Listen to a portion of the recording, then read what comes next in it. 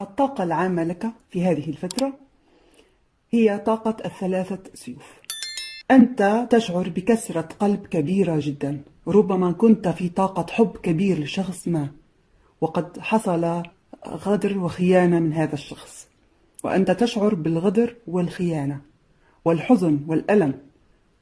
هذه الطاقة جدا كبيرة جدا قوية. في أنت في طاقة صعبة جدا. وأنت تشعر بأن هذا ترى هذا الشخص بأنه أيضا هو حزين. ربما حصل بينكما آه، علاقة ثلاثية ولكن هذا الشخص حزين لفراقك أيضا. يشعر بحزن كبير ويفتقدك جدا هذا الشخص.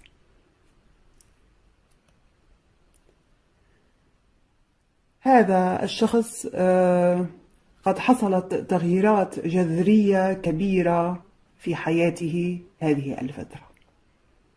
ربما كان هذا الأمر خارج عن إرادته. هذه بطاقة الموت. ربما حصل تغيير كبير في حياته. أثر على حياته أثر على طريقة تفكيره وهو حزين. ربما أحد الأقرباء أحد أقربائه قد فقد أحد أقربائه في هذه الفترة وهو حزين أو ربما حزين لفقدان لفقدان شخص آه، عزيز على قلبي أو ربما حزين هذا الشخص جدا لفقدانك. يفتقدك جدا ويشعر بأنك بأن العلاقة بينكما قد انتهت إلى الأبد. يشعر بخيانة وبغدر. ربما كانت هذه العلاقة في من طرفك وأنت تشعر أيضا بأنك قد قد أذيت هذا الشخص. ربما كانت من طرفك هذه أو ربما كانت لأنك أنت في طاقة الثلاث سيوف وهو في طاقة العشر سيوف. هو يشعر آه، بغدر وخيانة وألم.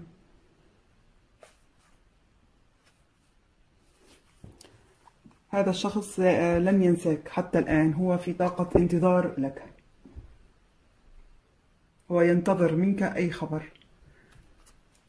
يرى بأن هذه العلاقة قد ماتت بينكما لكنه يتمنى بأن تعود إليه وتكلمه وتتحدث معه من جديد. هو لن لم يفقد الأمل حتى الآن في العلاقة معك. افرحوا هذه البطاقة تقول لكم شهر عسل ربما إن شاء الله يكون صلح ورجوع. مع هذا الشخص وتتساوى الأمور. أو ربما هذه القراءات تكون قراءات مختلفة لأشخاص أكثر من طاقة. هذه البطاقة تقول لك انفصال. كما قلنا ربما حصل بينكما انفصال ولكن هناك رجوع إن شاء الله. بينك وبين هذا الشخص انفصال. هذه الطاقة واضحة جدا. بينك وبين هذا الشخص. هناك انفصال ولكن إن شاء الله هناك رجوع. من كان في علاقة ثلاثية وقد حصل انفصال بسبب علاقة ثلاثية فأقول له إن شاء الله هناك رجوع.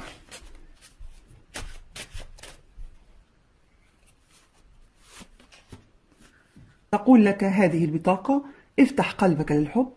حب نفسك وحب الله وحب الناس وحب الطبيعة.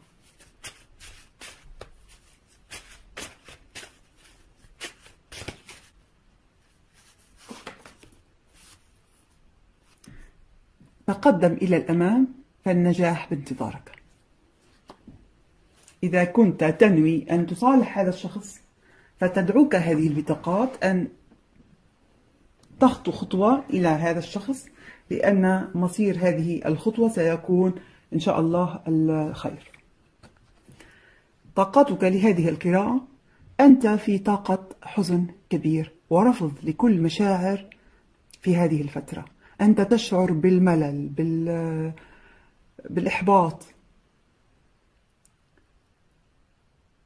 أنت حزين في هذه الفترة. أنت تشعر بحزن كبير. ولا تريد عندك مثل يأس من هذه الحياة. لا تريد أن أن تفتح قلبك للحب. هناك شخص يحبك. هناك عرض. أمامك ولكنك لا تريد أن تقبل أي شخص. أنت تفكر بالماضي الذي ذهب. أنت تفكر بالخسارات التي خسرتها دائما في حياتك.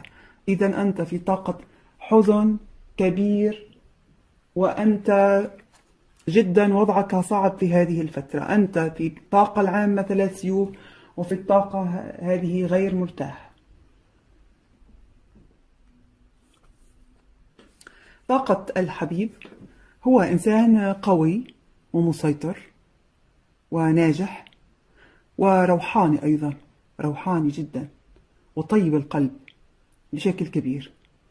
ولكنه هو أيضا يحبك ومسيطر على نفسه لكي لا آه، يأتي إليك ويقول لك بأنه يحبك ويحاول أن يتنازل لك أو هو في طاقة هو لا يريد.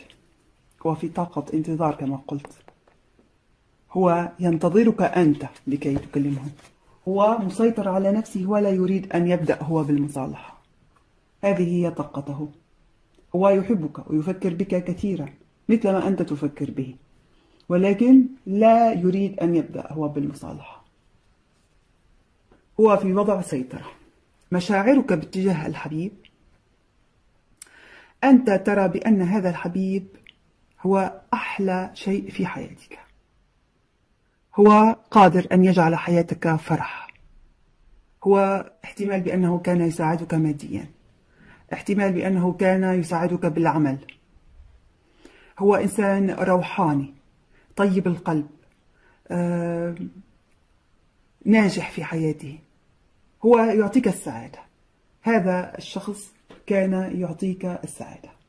مشاعرك جدا جميلة في هذا الشخص وهذا أنت تحبه بدرجة كبيرة. ولا تأتي كسرة القلب إلا من إذا كان الشخص يحب الطرف الآخر بطريقة كبيرة جدا. هذه مشاعر الحبيب.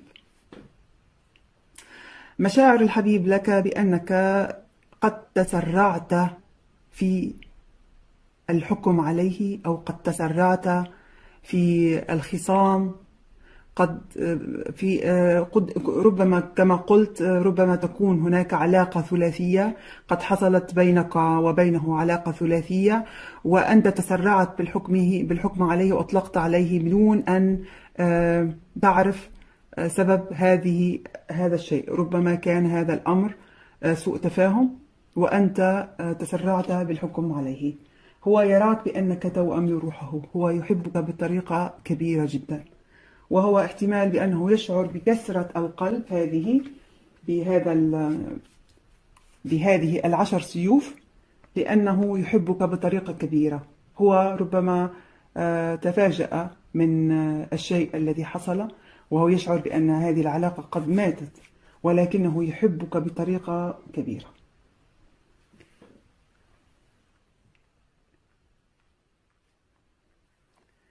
هذه القراءة أصدقائي تنطبق على كراش تنطبق على متزوج على خذوها بالطريقة التي تناسبكم. أنا أقول البطاقات فقط.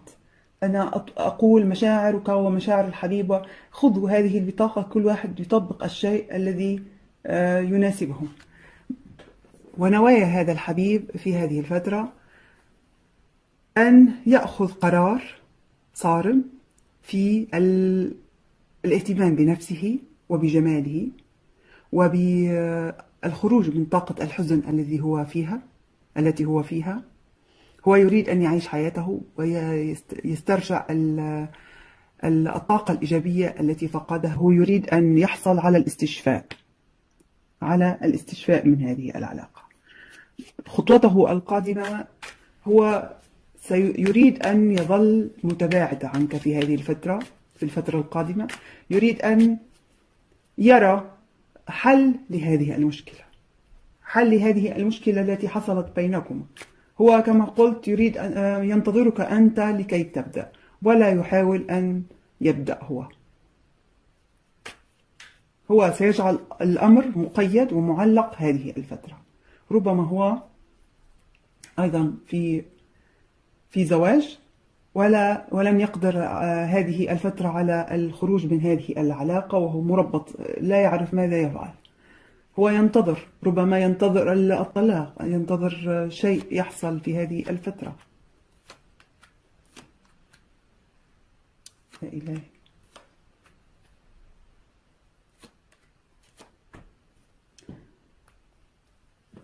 إذا هو يريد أن يعيش يخرج من هذا الحزن التي هو الذي هو فيها فيه. كما قلت يخرج من هذا الحزن الذي هو فيه ويعيش حياة جميلة وحياة مليئة بالفرح ويجدد حياته. هو يريد أن يخرج من هذه الطاقة السلبية التي هو وضع نفسه بها ويريد أن ينطلق في حياته.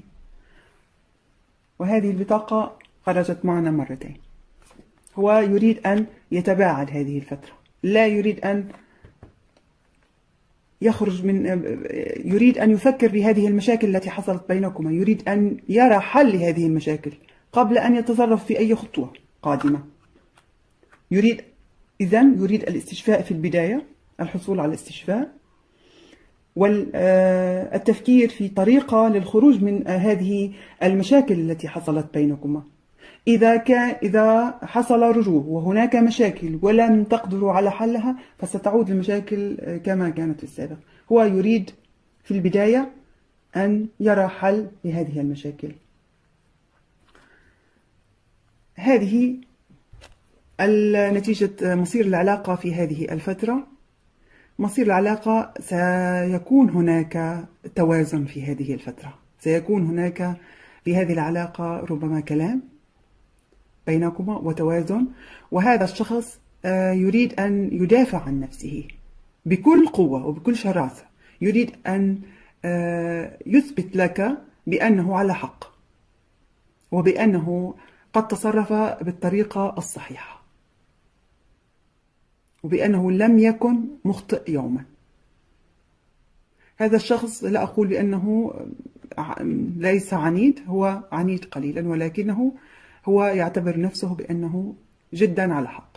وهذه العلاقة سيكون فيها في هذه الفترة بإذن الله توازن. سيكون هناك استقرار في هذه الفترة. نصيحتك لهذه القراءة؟ أن تخرج من طاقة الحزن. الحبيب يريد أن يستشفي ويخرج من طاقة الحزن.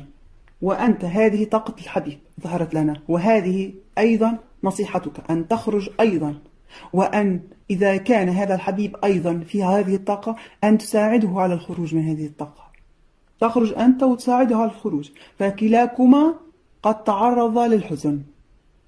ابدأ بداية جديدة مع هذا الشخص. هذه الورقة تدعوك لبداية جديدة. وتقدم إلى الزواج منه. هذه بطاقة الزواج. ابدأ بداية جديدة. حاول أن تخرج من كسرة القلب والحزن الذي أنت فيه أو تخرج الحبيب. صلح ما بينك وبينه من مشاكل. وإذا كنتما في خصام وكان بينكما زواج ارجع هذه الزواج. ارجع لهذه العلاقة. وإذا كنت كراش في علاقة تزوج هذا الشخص فهو هذا الشخص يحبك بدرجة كبيرة ويعتبرك بأنك توأم لروحه. تقدم إلى الأمان هذه تقول لك تقدم إلى الأمام فالنجاح بانتظارك. تقدم وحاول أن آه، تكون مع هذا الشخص فهو يحبك جدا. وافتح قلبك للحب. هناك شهر عسل. انفصال ورجوع. هناك انفصال في هذه العلاقة وهناك رجوع. هذه القراءة جدا جميلة وموفقة. شكرا لكم أعزائي على هذه المتابعة وأرجو أن أراكم في فيديو قادم.